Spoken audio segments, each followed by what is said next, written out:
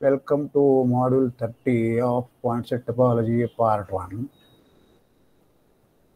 Last time we introduced the study of product sets basically and and started just the meaning of putting some topology on the product set. I will recall this theorem which we did last time and then we will go ahead. So this was the theorem on xj, which is the product of the family x little j's.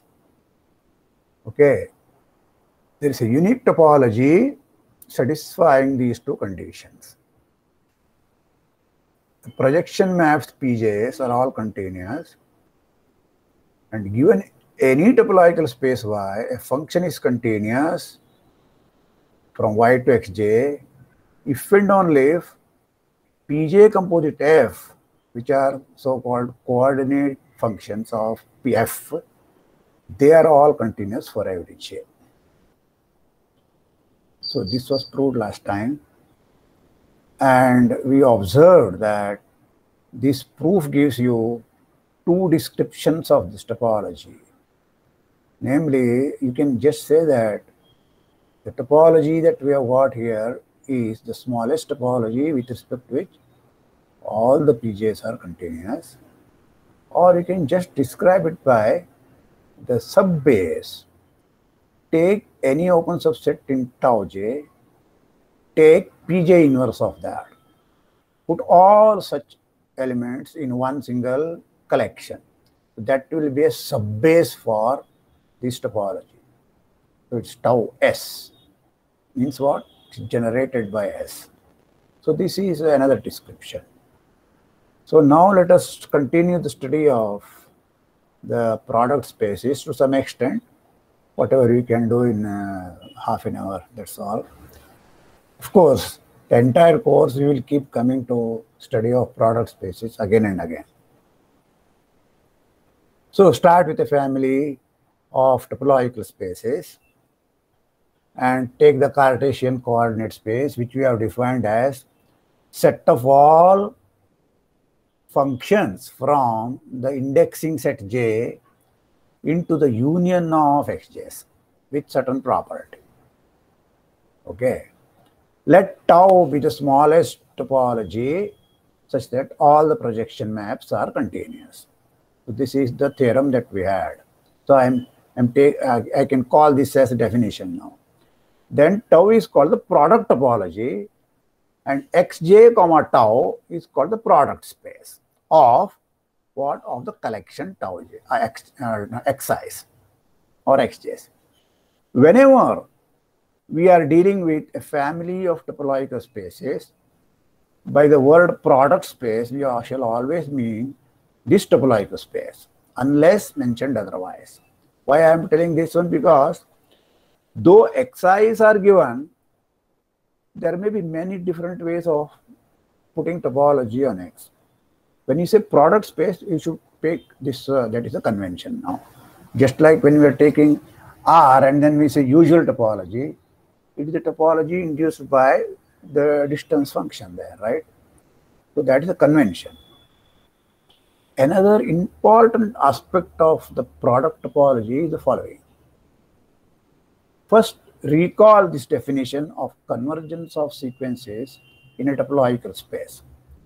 What is that? Here, any topological space, a sequence action is converges to x, that is what it is, if and only for every neighborhood u of x, there exists a case such that n is bigger than equal to k implies xn is inside u. Okay, I am just recalling this definition. Then I am going to use it here now. So, a sequence xn inside product space. Okay, this will converge to x belonging to xj Now I'm taking the product topology here and the and the previous defin previous definition which we just saw.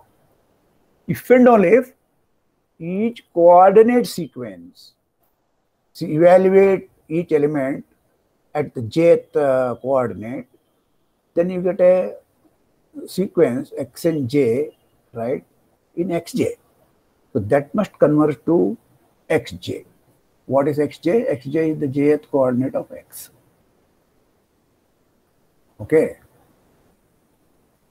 So this is one way of more or less characterizing the topology, but that is uh, not what we are going to do. We are going to only one way. Characterization is a little more uh, stringent. They don't work in complete generality. So if you take the product topology, then it has this property is what we are going to see. The necessity of the condition follows from the continuity of projection maps. Once this sequence is convergent, Pj of that sequence must be convergent because Pjs are continuous. Pj of this sequence is precisely this sequence. And where they should converge? To Pj of x. So that is continuity of Pjs will ensure this. If this is a convergent sequence, then each x and j is a convergent in xj converse is what we have to uh, take care of it. That is also one line proof. First of all, you must observe that for every u containing x, something happens.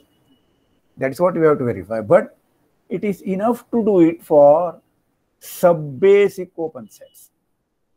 Once you have done it for subbasic open sets, finite intersections of that will be verified by taking that corresponding n naught to be maximum of this n1 and 2 n case you have taken. So that will give you the verification for all basic open sets. Once for basic open sets you have, you have done, to each open set and each point belonging to that open set, there will be always a basic open set containing that. So it will come for all the elements. So this is the elaborate way of uh, telling you. But we have all seen all these things, the role of basis and subbasis. So here I'm going to use it for the first time. So this is the way economically we can do a lot of work. That is the whole idea of base and subbase after all. So let U be a subbasic open set in Xj such that X belongs to U. Then I must find an N, N naught such that for N bigger than N naught, all the xn's are inside inside what? Inside this open set. So that's what i have to do. Since it is a basic open set that a basic open set u will look like pj inverse of vj for some open subset uj in xj for some j right for some j that's all right now x belongs to Pj inverse of Uj is the, the hypothesis, right? Because X is inside U. U is this one. Okay. So implies that Pj of X is inside Uj. Pj of X is not Xj. But now convergence of the sequence X and J will tell you that there is an N naught such that all the xn's are in Pj inverse of Uj right? Because, because sorry, all the and, x and j's are inside uj for n bigger than n naught. But that is same thing as again, if you take x and j is what? pj of xn. So xn belongs to pj inverse of uj. And that is u. So u is arbitrary open subset, base subbasic open set. We have verified for every subbasic open set containing the point x. So this is done. Okay, so let us go ahead with a number of remarks here. In the language of function spaces, the above theorem tells us that product topology is the same as topology of pointwise convergence. If you don't know this terminology from function spaces, you are excused from understanding this. Okay. When you come to that and uh, your analysis teacher says this pointwise convergence, then you will say, oh, this I know. That is the other way around. It is actually what's happening. Since we have not studied any function space topology yet, you may not be able to make much sense out of this remark at this stage. Okay? So therefore, let this remark hang for a while. Okay? Don't throw it away. It will be useful when you study uh, function analysis or any function space topology and so on. In order to facilitate the discussion of relationships between you know xi and xj, where i is a subset of j, let us introduce okay an important topological concept here. This is just a stopgap definition, but the concept itself will be useful elsewhere also. So I am taking this opportunity to introduce that one here. Start with any two topological spaces, okay, by an embedding of x in y, we mean a function f from x to y such that f from x tau to f is always from x to fx. First, first part I am taking this subspace fx. The subspace topology is tau prime restricted to fx. So this is the notation for subspace topology, remember that. So now instead of y comma tau prime, I'm taking just fx comma tau prime restricted to fx. So this must be a homeomorphism. Okay. So let me elaborate on this one. Namely, if f is a continuous injection, okay, first of all, why? Because the same f is there, it's a homeomorphism, so it must be injection and it must be continuous from x to fx. From fx to y, there is an inclusion map. Compose it with that, that is also f.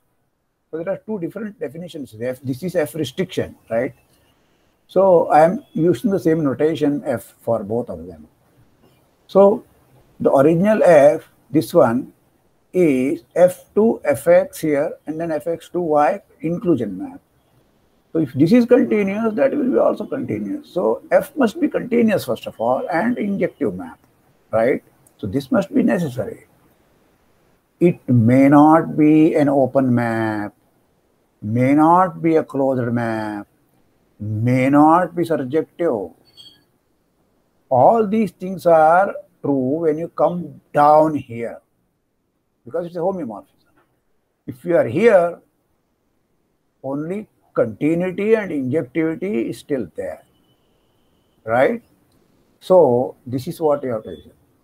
So it may not be an open map or a closed map or may not be surjective. However, if you take the codomain of f to be equal to the image of fx with the subspace topology, then it satisfies all these conditions.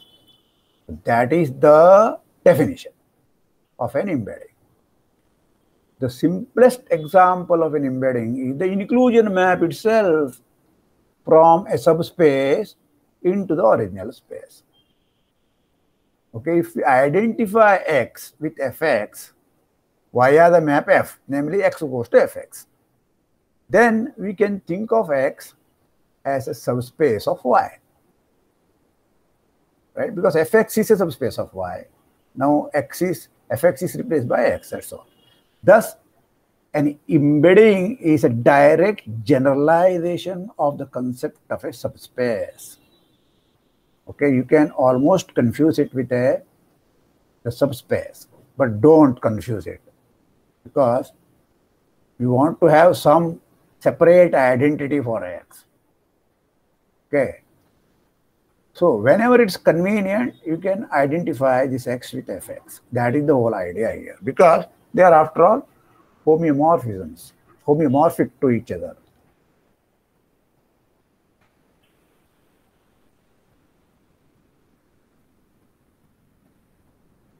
Okay, let me continue with some more remarks. Given a subset I of J, oh, this was my aim. Okay. of the indexing set. So I am taking a subset of the indexing set. We can also define xi. What is xi? Product of all xj's, j is, j is, j is inside i. Okay. This is some independent uh, product topology, product set, and so on. So what is the relation between the xi and xj? Then there is the obvious projection maps from the larger, this one xj, to xi. What does it do? Just ignore all the other coordinates. Suppose this is just a, uh, uh, only two elements set, x1 and x2. Okay. So x1 cross x2 to x1 or x1 cross x2 to x2, you had the projection maps, right? Similarly, what do you do? You just drop out one of the coordinates or several of the coordinates, retain the rest of them as they are. So this is what is pi is doing here. pi of xj retains all the i coordinates inside capital I, ignores all of them inside j minus i. pi of x equal to xi, this is all I have because there are no other coordinates here. All those coordinates which are here, namely i, all those j's inside i, they are there. Okay. Once again, from the definition of the product topology, this topology, this product is nothing but the induced topology on xj with respect to the family pj of coordinate projections. Okay you take the whole space xj, but now you take the subspace topology. So that will give you this xi. It follows from the above lemma that all the pi's are continuous. Okay, no matter which what is capital I. Okay, this i is fixed now. This pi is continuous. Why? Because the ith coordinate, all jth coordinate of this one is nothing but the old pj. So all the j coordinate, j is j inside capital I, they are continuous. So pi is continuous. We shall refer to these maps also as coordinate projections. It is like x1, x2, x3 going to x1, x2. Okay. So we have been using all these things in the case of Rn and Cn and so on. So only those practices we are putting in a general setup, that's all.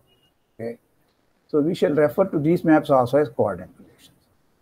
If K is J minus I, that means the left out indices here, and let us assume that both I and K are non-empty. This is a standing assumption, of course.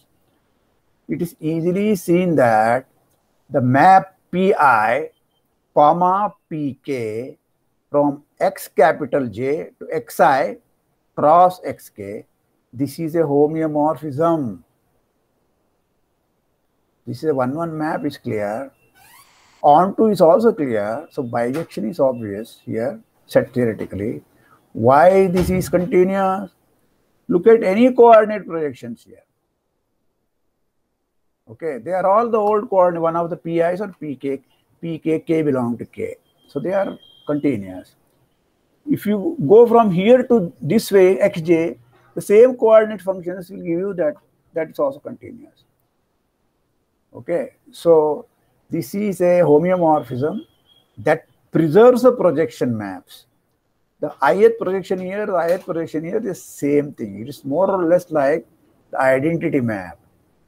Okay, so this is the way you identify R2 cross R2 with R4, right? the beauty of this notation is now it is independent of or independent of the order on the indexing sets. Therefore, I can write xi cross xj or xj cross xi. It will be the same xj up to homeomorphism is what we want to say.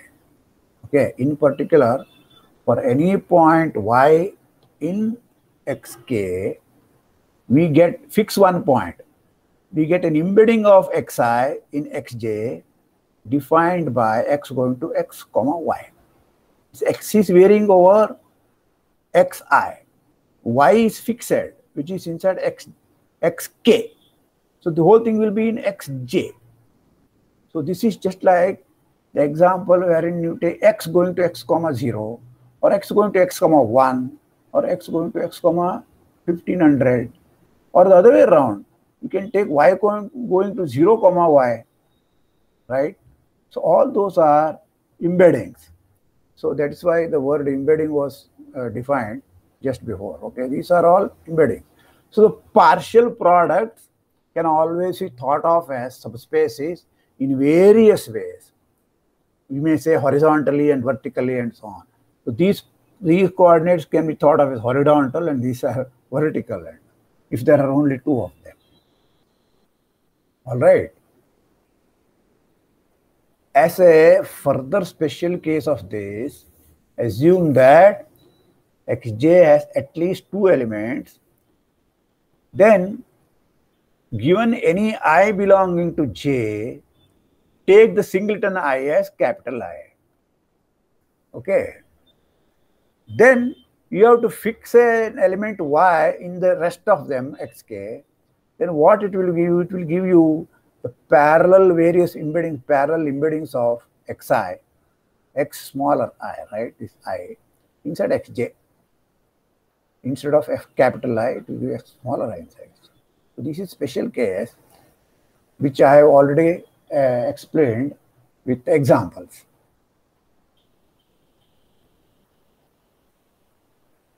All right. There is some more interesting things we have to tell you.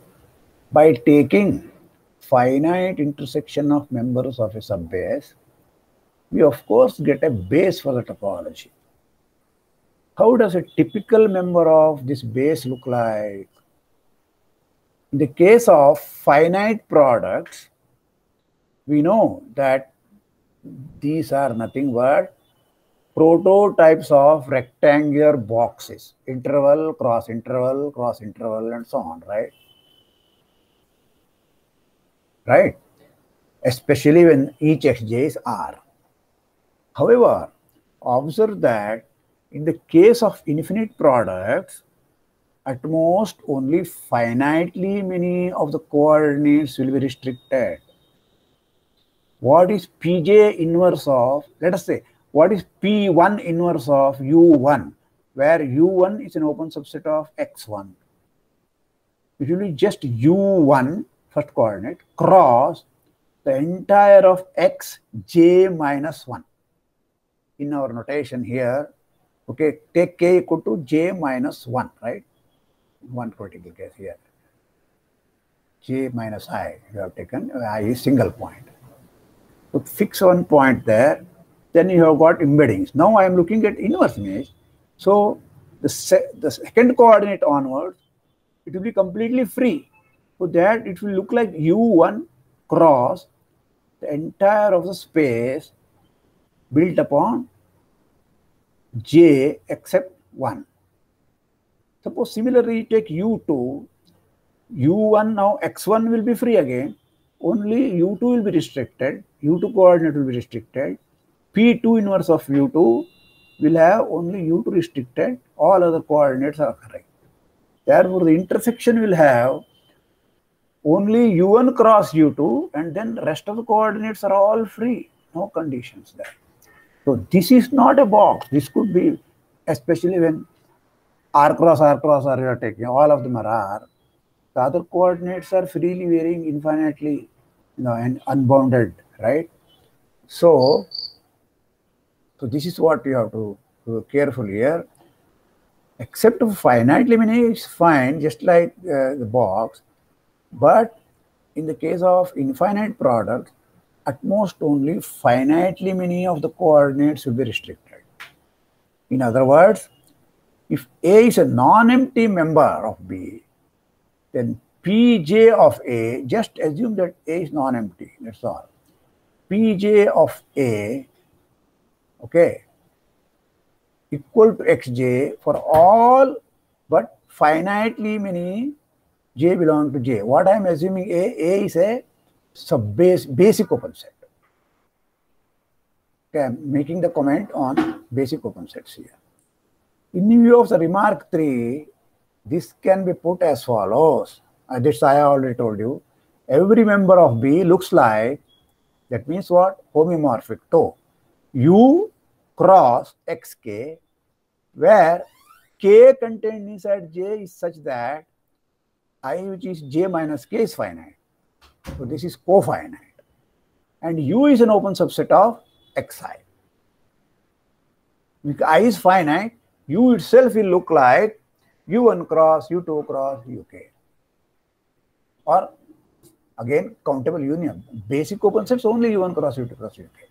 But every member of B looks like that. U1 cross U2 cross UK cross the whole of X.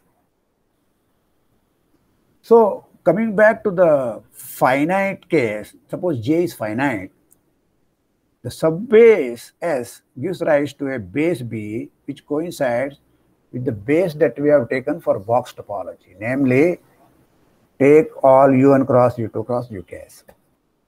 Okay, for instance, when J is just two element set, you have to note that P1 inverse of U1 intersection P2 inverse of U2 is just U1 cross U2. Just intersection. This will say the first coordinate is restricted inside U1. Second coordinate is restricted to U2. Therefore, it is U1 cross U2. However, as soon as the indexing set J is infinite, the two topologies may be different. In any case, you may check that the box topology is finer than the product topology. This is a handicap in getting continuous functions into the product of xj's, infinite products, with box topology. The if part of the statement 2 of theorem 2.70 does not hold as seen by the following example. See, if this were, you are given, given this one, the product topology, then we have the criterion number two there. A function is continuous if and only if all the coordinate functions, pj, composite f, those are continuous. Okay. So I will show you now an example, very easy example, which will violate this one in the case of box topology. Okay. So put xn equal to r with the usual topology for all n. So I am taking a countable family here. Okay, indexed by n. Take fn from r to xn to be the function fn of t is n times t. Okay, I think I wanted 1 by n times t here. Let us see which one will work. n times t won't do. 1 by n times t is what I wanted. Then each fn is continuous. Okay. However, the function f from R to xn, the product space, given by ft of n equal to fn of t is not continuous. It's a claim. For instance, the set U, which is a product of infinite copies of the interval minus 1 plus 1. Okay? Look at the interval minus 1 plus 1 is a neighborhood of F0 in the box topology. What I'm taking? Infinite product of minus 1. Minus 1 plus 1 is a neighborhood of 0 in every everyone. So it will be product of, it will be neighborhood of the product uh, box topology 0, 0, 0, all coordinates 0. And that is F0 because all the coordinates f of 0 is, is n times 0, so that's 0. But for no open interval i around 0, we have f of y is contained inside u. Can you see that? So for that, what I needed here was 1 by nt. Okay, t divided by n. So what I want to say, suppose you suppose you choose a interval to be minus 50 to plus 50. Okay. Then if I take n, you have to choose some some n. So if you choose uh, say n equal to 500, then uh, that point will come inside here. But here I have only a uh, uh, interval minus minus 100 to plus 100 or minus 50 plus 50. Okay. So f of i is a bounded interval. We take some interval. Okay. So I should I should say that given an open interval here, okay, f of something must be inside u. This u is that is a continuity. So that is violated, this is not true. Okay. So an interesting property of the projection maps is that each fpj from xj to x little j is an open mapping. It is enough to show that pj of u is open for each basic open set u inside xj. So here you have to be careful showing only for sub-basic is not enough here because you are taking intersections and image of intersections may not be intersection of image. Okay, you have uh, sub-basic unions will be okay. So sub-basic open set if you show that you are done. Okay, you be careful. So Pj of u where u is a sub-basic open set, I should show that it's open inside xj for every j. Okay, so let u equal to intersection of pki inverse of uki, i ranging from 1 to n. This is the typical way a sub-basic open set will look like. Finite intersections of of basic sub-basic open sets. So this will be basic open set. Each UKI is non-empty open subset of kxki. Now, what is pj of u? pj of u depends upon what j is. If j is one of the pki, one of the ki's here, then pj of u is precisely uki. Remember in the standard notation, this will be nothing but uk1 cross uk2 cross uk uh, whatever n cross the rest of the all other uh, entire spaces xj's. Therefore, its jth projection would be just uki, where j is equal to ki, i equal to 1, 2, 3 up to n. If j is not equal to any of these first ki coordinates, okay, n coordinates, if one of the other j, then it will be just the whole of xj. Okay. In any case, in any case, they are all open subsets on the right hand side. Therefore, Pj is an open map. All right. All coordinate projections are surjective maps because I'm assuming that all the x's are non-empty. That's important here. Otherwise, the product will be empty even though some of the xj's may not be empty. Even if one of them is empty, the product will be empty. So you are assuming that then each pj is a surjective map also. We have seen that a surjective open continuous map is a quotient map. In other words, each coordinate space here xj with which you begin they are all quotients of the, the product space. Okay. So this any surjective continuous function, then you can give the product, we can give the base, the quotient topology. If you do that, first take this xj's, take the product, and give quotient uh, space, you will get back xj the original topological space. That is the meaning of this. How did you do this? just by showing that each projection map is open map. Okay, the same thing applies instead of one single j, you can do it for a bunch of j's, xj to xi, which we have discussed earlier, because that is also subject to open mapping. So I want to discuss a few more things here. Just as in the infinite case, in the finite case, you have x cross x. Let us consider the case, for example, all the xj's are x now, one single space. Okay. Then we have introduced this notation, remember that x power i or x power j, whatever. Now I am taking the indexing set as i.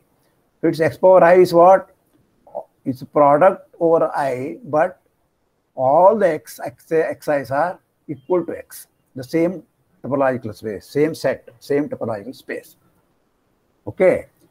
Just like in the infinite finite case, we can define the diagonal set to be all those xi's such that all of them are equal to each other, equal to one single x belonging to x. Okay, that is the definition of diagonal. The map eta from x to this x power i given by eta i of x. See, when you want to define a map into x power i, what you have to do? You have to just mention all the coordinates, all the all the coordinate functions there. Eta i of x, which you can write it eta x i. Okay, that must be x for all i. That is the definition of this map eta. So this will give you an identification of x with a diagonal, by which I mean a homeomorphism. Or here in the case, it's embedding of x inside x power i. Okay. With respect to this embedding, you can identify x as if it is the diagonal of. Okay. So I am just giving more elaborate explanation here. Eta is injective and it's on to delta x. It is continuous because eta i is identity for all i.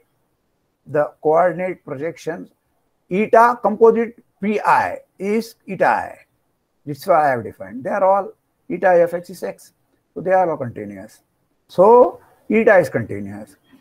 Also, for any open set U in X, okay, pi 1 inverse of U is open in X power I.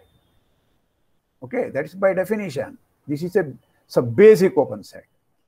And we check that eta U, okay, you start with an open set in X, but now you can think of x power i to x, that is a projection map also. Now you take the inverse image of that, that is an open set. But that open set intersection with delta is precisely equal to eta u. Eta u is delta x intersection pi.